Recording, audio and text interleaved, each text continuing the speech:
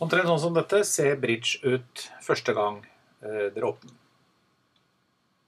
Adobe Bridge er, eh, det ligger for så vidt i navnet, en bro. Det er en bro mellom datamaskinen og alle Adobe-programmene. Det er et sted hvor vi skaffer oss oversikt, organiserer, eh, og veldig fort kan se gjennom store mengder med bilder og filmer, og for så vidt alt som ligger på datamaskinen.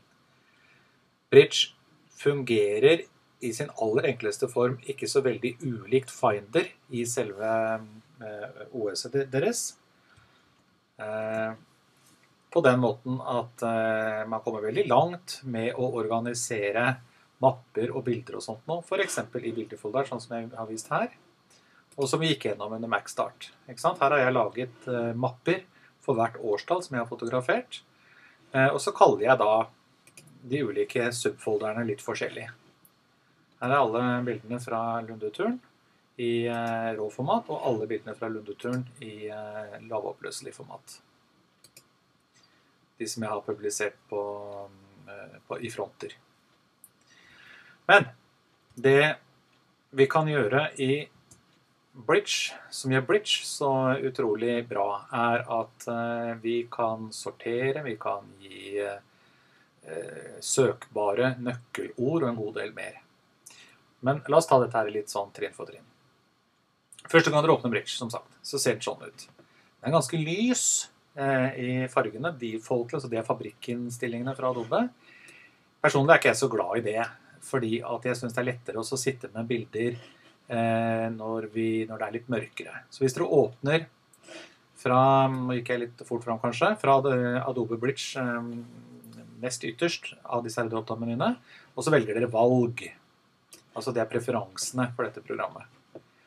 Så kan dere dra ned både user interface og eh, bakgrunnsfargen bak bildene helt til svart. Dere ser at den, eh, den ytterste delen blir ikke helt svart, men eh, nå har jeg i hvert fall et arbeidsmiljø som jeg syns er mye mer behagelig for øynene mine når jeg sitter og jobber med bilder. Og så er det en masse andre ting her som jeg aldri gidder å stille inn. Eh, hvis dere vil, eh, så kan dere godt sette f.eks. hele programmet til å være på norsk. Fordi at denne delen av Adobe-pakka eh, har, som dere ser, mange forskjellige språk bygget inne. Jeg har valgt å beholde den på engelsk, for at de andre programmene snakker til meg på engelsk. Men jeg har selvfølgelig eh, norsk eh, tastatur. Ok. Så da har jeg fått dempa all her, eh, alt det lyset som kommer fra maskinen. Så ser dere at eh, i margen her nå, på favorites, så er det, eh, så er det omtrent sånn som margen i, i, Finder. Og dere kan, etter hvert som dere går gjennom maskinen, så er det bare å dra foldere inn her på favoritter. Så, så blir de lagra her som et startsted. En ting som er litt nifty, litt smart, det er det at eh, hvis dere går inn her og så f.eks. klikker på bilder, og så finner jeg fram til den der eh, mappa for i år, 2011-mappa.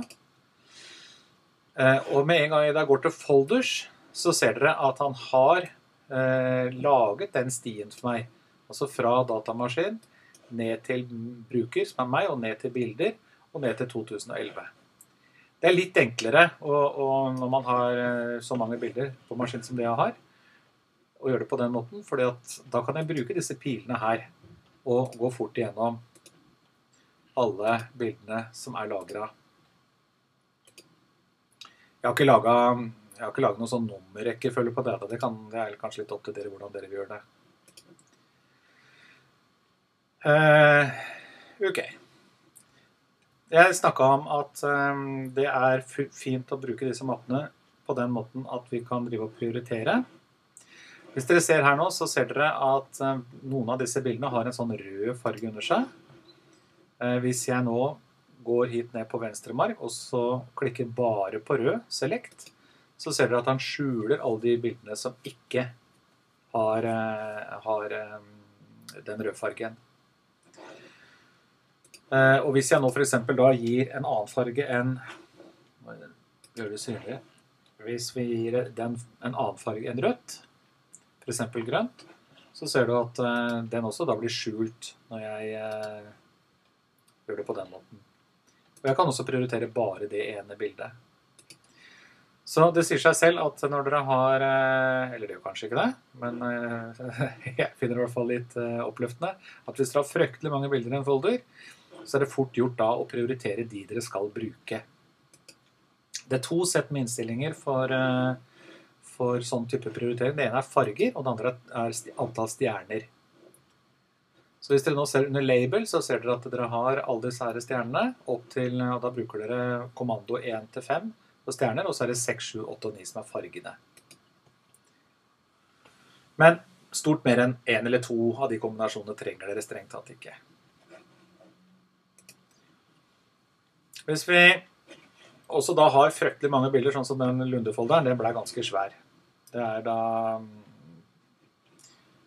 ja, 222 bilder i alt. Helt nederst her så ser dere at dere har en sleide. Og her kan dere egentlig bestemme hvor store disse bildene skal være. Hvis dere har behov for å se dem litt svært, så gjør dere det. Eh, men hvis dere er helt sikre på å se liksom alle som ligger i mappa, så kan dere dra dem med til ganske små størrelser. Dette avhenger jo litt av hvor svær skjerm dere har igjen, da. Det er tre, forskjellige, nei, tre forskjellige måter Nei, egentlig så er det jo det er tre forskjellige måter å se disse bildene på. Uh, dette er da essential. Hvis jeg klikker på et bilde, så kommer bildet opp uh, i ruta på sida her. Og alle disse her um, mellomrommene er jo da justerbare, så dere kan da bestemme akkurat hvor, hvor stort ting skal være. Dere kan også se filmstripp. Da får dere mest ut av uh, det er den største mulige visningen av, eh, av, bildene deres. Da kommer alle sammen som en sånn stripe nederst, og så kan dere bla dere gjennom eh, i nederkant.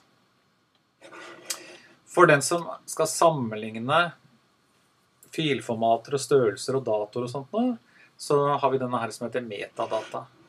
Da kommer det opp, ser dere, eh, vertikalt her, nei, horisontalt, så kommer det en eh, god del eh, opplysninger. Og så kommer det enda mer opplysninger i margen på venstre side her.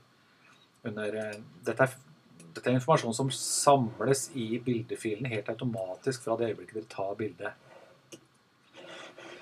Og så helt til slutt da, så kan dere også da eksportere bildene da, til eh, PDF-er, eller dere kan lage webgallerier. Men det skal vi se litt eh, på seinere.